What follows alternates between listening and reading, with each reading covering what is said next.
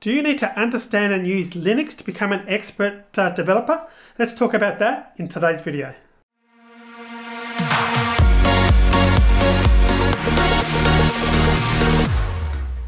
Welcome back, my name is Tim Buchalka with another programming tip of the day and the question again was do you need to understand and use Linux to be considered as an expert developer? Well the short answer is no. But in years gone by that probably was something that uh, was a bit of a, a just a general opinion out there that uh, Linux programmers, people who understood Linux very well, were the expert developers. But that's sort of changed these days with the advent uh, of modern tools, which are available generally on all three platforms, certainly on Windows, Mac, and uh, in many cases on Linux. The requirement to know and understand Linux to be considered an expert developer isn't really there. I mean, it won't hurt to have the skills, because depending on where you go to work, you might find, well, we will find that they'll have a particular environment. So you might work for a particular company and they're focused on Linux. That's their infrastructure, that's their development environment. So obviously in that scenario, you'd need to understand and uh, be productive in Linux.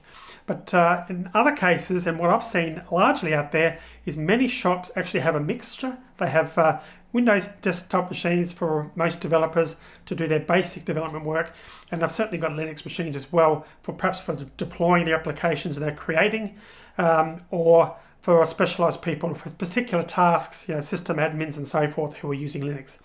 So in general, no, you don't need to be a Linux, uh, basically a Linux user or guru to uh, be considered an expert uh, developer these days.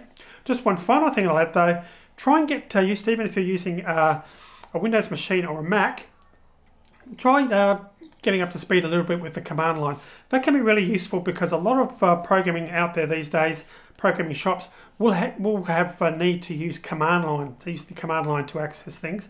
You mean you certainly won't be creating programs completely at the command line because that's why we've got modern IDEs like IntelliJ and Eclipse and so forth. They um, have got so much functionality built in to make it much easier for developers to be productive. So you won't need to do all your programming in there, but if you know the basics of a command line tool, how to navigate into different folders, copy files and so forth, it, you can be quite productive. And to give you a bit of background, that's really where I've come from. I've focused largely on the command line. So I ran Linux myself for a number of years. That's my desktop platform. These days I'm using Macs, but I still do a lot of my work at the command line because that's what I'm used to. But uh, those are skills you don't necessarily need to have, but if you've got them, they'll probably be considered a bonus on your resume.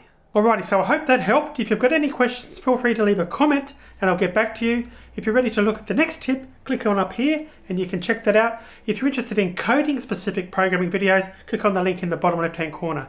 Consider subscribing by clicking on the link up here and I'll see you soon.